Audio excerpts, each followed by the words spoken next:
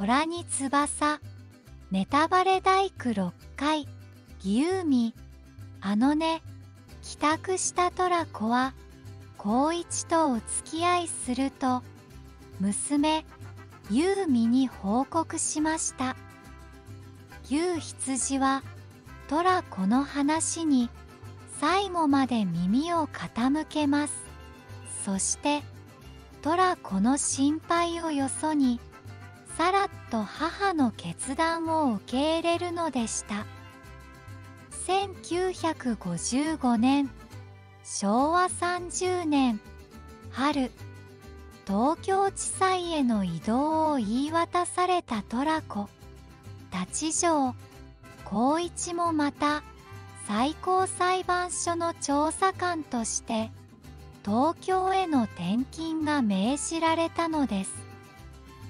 三条支部の面々や喫茶ライトハウスの良子と玉らから見送られ虎子たちは3年間を過ごした新潟を後にしたのでした。東京猪爪家にて西花江たちの暮らす信人の家に帰ってきた虎子と優美大学3年生になった直人は法律を学びジャズに目覚めた高校3年生の直春はサックスプレーヤーを目指しています。将来の夢に向けてひたむきに頑張る甥っ子とたちの姿に虎小雨を細めるのでした。一方その頃中学教師の弟直明は恋人との結婚を考えていました。そんな直明の結婚の条件は猪爪家の家族と一緒に暮らすことです。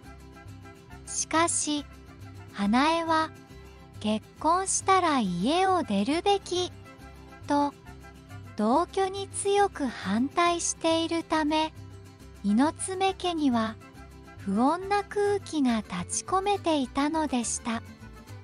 新潟編と東京編の分岐点。物語の舞台は新潟から東京へ移り新たな展開が待っていそうな予感です。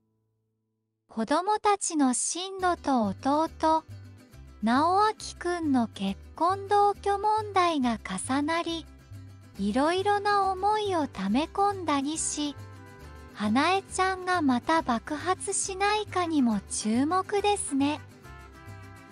何はともあれトラコちゃんというみちゃんが猪爪家の面々との再会を喜ぶ姿を見届けたい